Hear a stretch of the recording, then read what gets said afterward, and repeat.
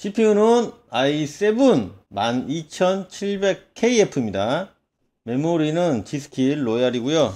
3600C CL16짜리 같습니다. 32기가 이거 소린 보증 스티커는 한번 붙이면 못 띄거든요. 잘 붙여야 돼요. 보증 스티커는 이렇게 붙였습니다. 자리 맞춤.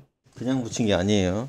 SSD는 PM9A1 512GB입니다. PM9A1 같은 거는 이거 스티커 없으면 AS 안 될 거예요. 왜냐면 serial 조회가 안 될 거란 말이에요. 어, 이런 보증 스티커는 앞에보다는 뒤에 붙이시는 게 cooling에는 더 도움이 되겠죠. 이렇게.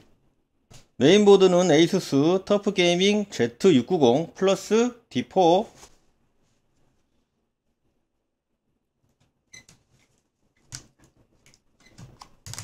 비닐이가 다 눌러붙었네 벌써 아이고 이게 원래 이런 비닐을 쓰지를 않는데 아 찐득이 이거 왜 그래?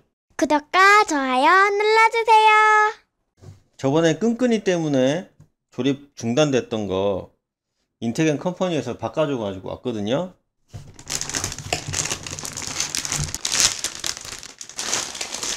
자 이렇게 깔끔하게 뜯어져야죠.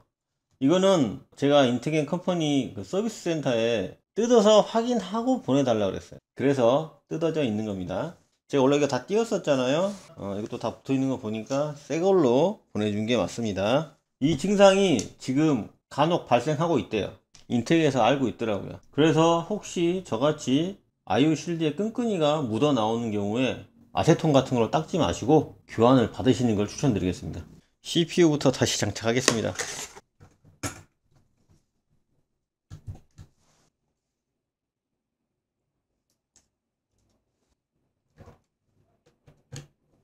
드디어 보드 조립이 끝났습니다 일주일 만에 이것도 했던 것 같은데 이 에징의 컨트롤러 생각날 때 뜯읍시다 어? 리안리는 이거 두 개밖에 없었나? 그러면 이거는 펜, 어, 이거는 펌프 전원. 잠깐, 하나. 와. 이상치 못한 일이 발생했습니다. 큰일 났다, 큰일 나. 아. 그렇죠. 이거 컨트롤러가 하나가 더 필요해요. 채널이 다섯 개가 필요하네. 하나, 둘, 셋, 넷. 5채널이 돼버린 거야, 지금. 이거 몰라, 원래 이런가 보지.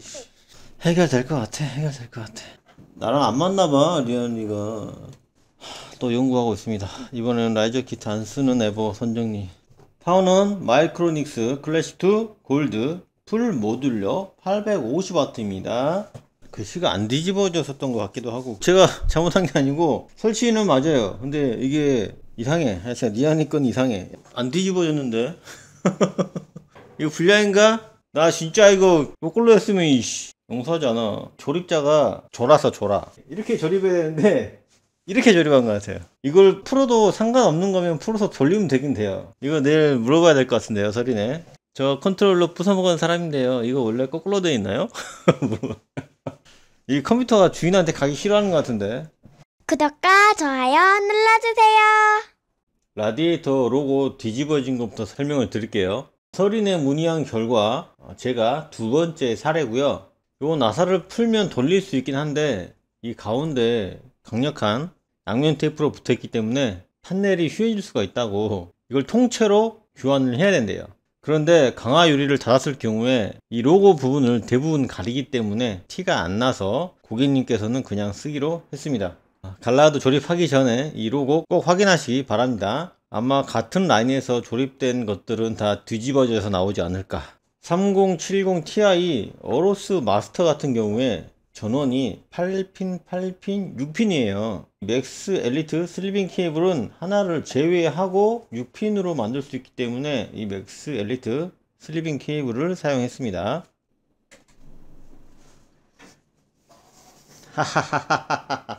여기만 LED가 지금 안 들어오죠? 여기는 아직 선이 없으니까.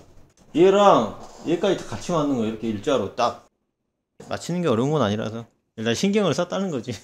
3차에 걸친 리안리 다이나믹 에보 마치겠습니다.